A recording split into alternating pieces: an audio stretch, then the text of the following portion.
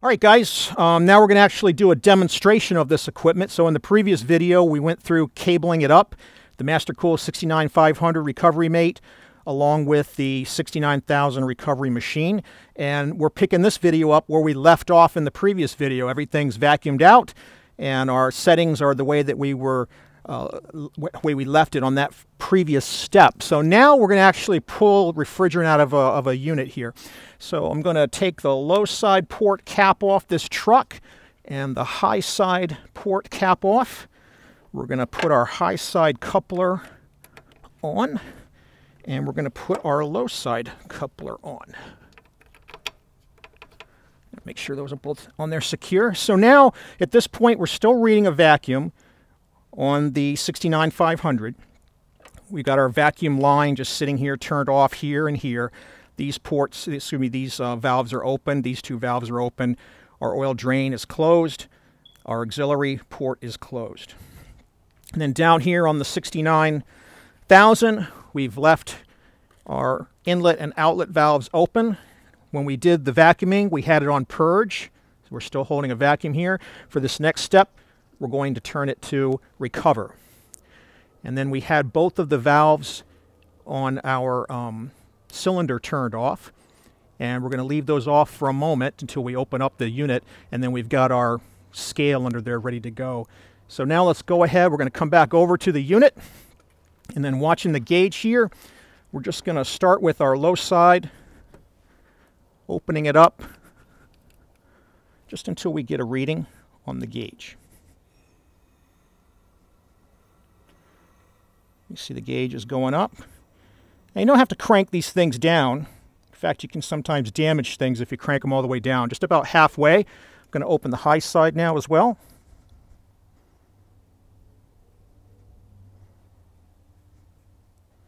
Again, just about halfway. And then I'm going to come over here to the cylinder and I'm going to open the vapor valve, the blue valve typically. Now this guy I'm going to open up all the way. Now with all of that done, we've got the, the machine is sitting in the recover position. We've got the automobiles system opened up. We've got our cylinder opened up on the vapor side. Now we can start the recovery machine, let it do its job. Now this guy works pretty fast. He's going to go all the way down to around, I don't know, the manual says around uh, 2 to two to three to four, you know, something under five psi, and he has an automatic low pressure shutoff. He's going to stop. That's actually going to give us the opportunity uh, to go back and, and pull the oil out to see how much of that we have. But at this point, we're just going to let this guy chug along, do his thing. We'll come back and say, I don't know, let's see what we got here. Um, we'll come back in like 10 minutes and see where he's at. All right, guys, you know, if we zoom in here, we can see our refrigerant cruising through the sight glass. Uh, it's very easy to see because it's got a dye in it. We can also check down here and see that we're still dry on our moisture indicator. It's light blue on the inner ring, so we're good there. If we come over here, we can check our scale. And we can see that we're you know, gradually adding refrigerant from the vehicle into the tank. And this just gives you, you know, just by staying here for a few moments, gives you an idea about the, the rate of recovery. All right, well, we're going to come back in about another five and see how it's doing. All right, guys, this is just another view of our scale in action while we're doing a recovery operation. You can hear the recovery machine there in the background buzzing away. We've currently got 19.85 pounds in the cylinder. We just went up to 19.90.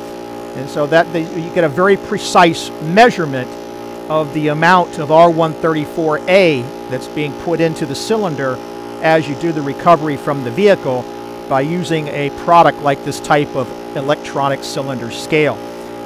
At some point, the recovery machine will shut off and that'll give us the final reading of, of how much that we've put into the tank. Of course, then to calculate the delta, you would have wrote down the, the amount that was in the tank to begin with, take this new amount and subtract it, and that tells you how much refrigerant you pulled from this particular vehicle on that particular recovery operation.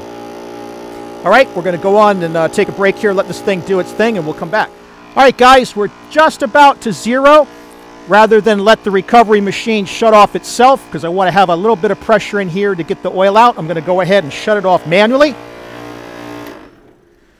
And then what we can do is we can come back, let it continue going until it shuts off itself. But you want to have at least about 2 to 3 psi, according to the manufacturer, of, uh, of residual pressure in order to get the oil out. And then you can close off these two valves, hook up a pipe, and then we can drain that off into our little container here. Now what we're going to have to do before we do that is very similar to the cylinder. We're going to weigh this container. Then we're going to hook up the hose, drain out the oil, and weigh it again so we can figure out how many ounces or fractions of an ounce of oil that we recovered. So I'm going to go get a little piece of hose on here and I get a little scale for that purpose, and we'll come back. All right, guys, let's go ahead and give this little container a weigh out. So it looks like the container all by itself is 0.3 of an ounce, and with the cap, 0.4 of an ounce.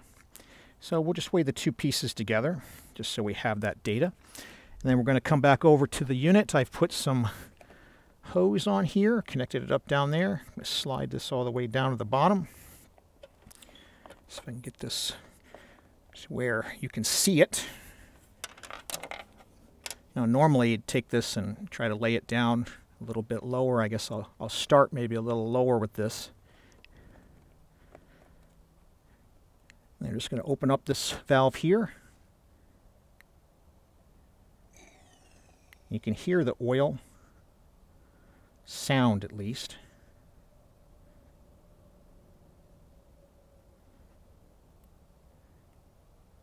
In this case, nothing. Nothing came out, which is kind of concerning, but I guess it's possible that we didn't drain anything out on this particular particular run. This point, the machine has shut itself off. Uh, even with the machine at the shut-off stage, uh, there's no residual pressure. There's still no pag oil that's been separated. So part of the problem on this particular vehicle it's under repair is that it's lost some oil is what I suspect. So we didn't get any. But let's just continue on with the next step of the recovery. So we're at zero here. We're at zero down here. We're going to turn the machine off and we're going to turn it into the purge setting. And what that's going to do is get any residual um, refrigerant that might be inside the system itself. So we're going to go ahead and run that step next. Now it might be too low of a pressure for that to go, and if that's the case, uh, the manual does say that, that if you have that kind of a, a problem, you can turn it to the purge position, and that'll let it go. Now while it's purging out here, we're going to go ahead and close off our valves up here.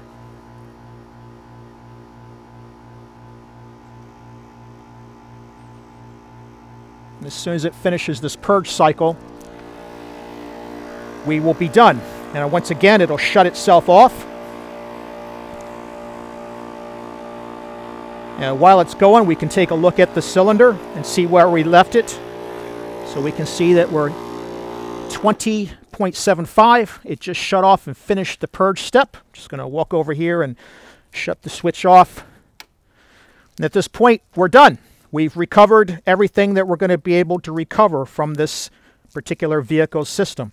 The next step will be pulling a vacuum on that system after we do the repairs that we need to do. So at this point, I'm going to uh, get set up to do that vacuum step. We're just going to presume we did whatever repair needed to be done. I'll get set up for that, and we'll show that vacuuming out system, and that'll that'll be uh, the end of the demonstration. So let me come back in a moment. All right, guys, since we're at the end of the previous step, we're going to go ahead and close the vapor valve that we had open on the cylinder.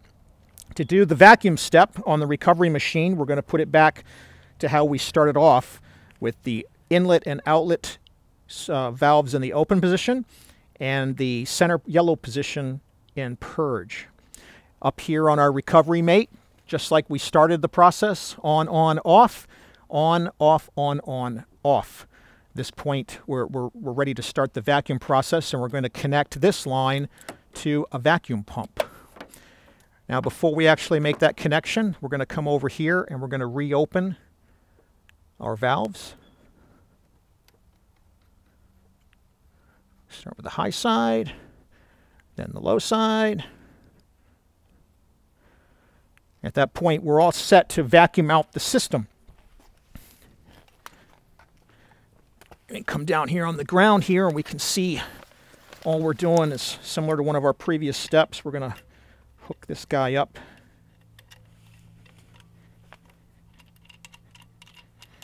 This fitting. Get him nice and snug. It might be short, just a little bit of slack line there. And then we're going to take our recovery machine and unplug it because we're not going to need him to be powered up for this step. And we're going to plug in our vacuum pump instead. So at this point, we can turn the vacuum pump on. We can open this valve. And we can come over here and open this valve. Now you can hear the vacuum pump doing its thing. And now previously we were vacuuming out our equipment, but now we're actually vacuuming out the whole vehicle.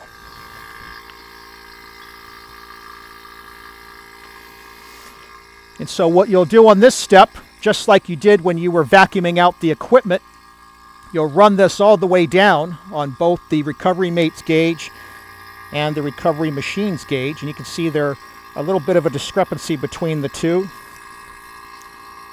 They'll normalize themselves out as we go. Again, our cylinder, both valves on our recovery cylinder are closed. We're simply pulling all of the residual material that we could not recover. The recovery machine can only go to so many microns. Now we have to take it the rest of the way with a vacuum pump, which is standard procedure and EPA approved. So I'll let this guy go until we pull it down, and then we'll come back and we'll wrap it up. All right, guys, I've uh, let this go for 45 minutes, uh, pulling the vacuum on the system here. And at this point, I'm getting ready where I'm going to shut it down and, and make sure that it holds. Uh, 45 minutes is the bare minimum you should run pulling a full vacuum. Uh, maybe even 60, depending on how long you have the system exposed while you were doing the repairs. Now, after we shut it off, I'm going to come down here and uh, shut off our vacuum line here. Here, and shut our pump off. After you are, are done with um, letting it sit. If you find you do have a leak, I want to tell you a little bit about this. So if you find you have a leak, since you got no refrigerant in there, you're not going to be able to use a sniffer. So what I intend to do if I do get a leak is I'll use some nitrogen. This is just a, a pressurized nitrogen uh, canister here, or cylinder rather, and run it up to 100 psi on the high side, and you can acoustically find the leak. You know, you listen for it. But uh, if you don't have a leak, you don't have to worry about that. So we're going to take this guy and we're just going to let him sit here. Uh, we've run it for 45 minutes. We're going to go ahead and let it sit for 30 minutes. Make sure that our gauge here holds. Uh, the other thing I did uh, in between one of these videos is I went ahead and popped this lens off and zeroed in the gauge here, like I mentioned earlier in the video, that it was off. So we, we took care of that. You can just get a little screwdriver you know, if you have this kind of unit, I, miss, I guess I'll show that. If you have this kind of unit, you can see underneath there's a little notch here where a screwdriver can fit in. And just get yourself like a, a small dowel or piece of wood or something so you can use as a, as a lever so you don't scratch up the anodized finish here. And you can pop the clear lens off and then you can use that little screw that you see under the lens to adjust it on these particular Mastercool models like the uh, 69500 we see here, as well as the uh, 69000 itself with the recovery unit. If we uh, are successful and we don't have any leaks, then we'll just go ahead and proceed to charge the system as normal. I hope this uh, helps you out on seeing this little tour of this equipment and seeing it in action. If you've got questions or comments, go ahead and leave them below. If you found this useful, please think about hitting that like button and consider subscribing. Thanks for watching.